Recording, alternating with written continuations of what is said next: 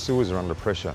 And when you are opening the lid, you actually have to stand over the manhole lid to open it. We used to use a Gatic lifter and a sledgehammer.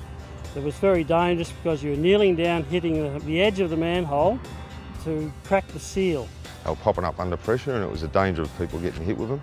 So Nians came up with this idea that you can open it from a safe distance. It's got a piston on the outside of the manhole. You've got your hose that comes out so you're at safe distance from the manhole.